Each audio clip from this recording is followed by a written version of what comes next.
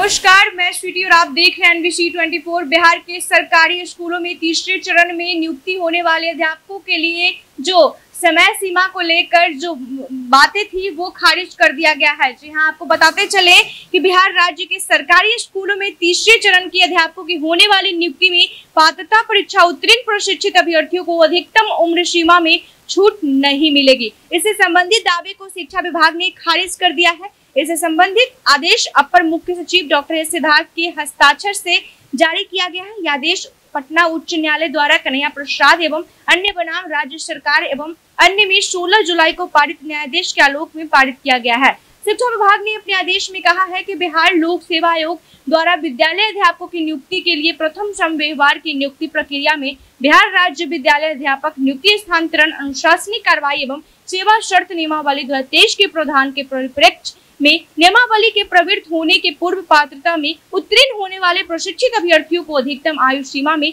10 वर्ष की छूट दी गई है। इसी प्रकार विद्यालय में अध्यापकों की नियुक्ति हेतु दूसरे श्रम व्यवहार में बिहार राज्य विद्यालय अध्यापक नियुक्ति स्थानांतरण अनुशासनिक कार्रवाई एवं सेवा शर्त नियमावली दो के प्रधान के परिप्रेक्ष्य में नियमावली के प्रवृत्त होने के पूर्व जिस विनिर्दिष्ट विषय या विषय समूह में नियमावली के प्रवृत्त होने के पश्चात पात्रता परीक्षा में उत्तीर्ण होने वाले प्रशिक्षित अभ्यर्थियों को दूसरे व्यवहार में अधिकतम आयु सीमा में 10 वर्ष की छूट दी गई है। इसके मद्देनजर शिक्षा विभाग के अपर मुख्य सचिव डॉक्टर एस सिद्धार्थ द्वारा पारित आदेश में कहा गया है की वादी गण बिहार लोक सेवा आयोग द्वारा विद्यालय अध्यापकों की नियुक्ति हेतु तीसरे व्यवहार में अधिकतम आयु से संबंधित छूट का दावा किया गया है, जो बिहार राज्य विद्यालय अध्यापक नियुक्ति हस्तांतरण, अनुशासनिक कार्रवाई एवं